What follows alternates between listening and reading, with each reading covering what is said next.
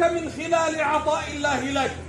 إن أمتنا الآن تمتحن في شرقها والمغربين وإن معركتنا الآن في أذربيجان كما هي معركتنا في بلاد الشام.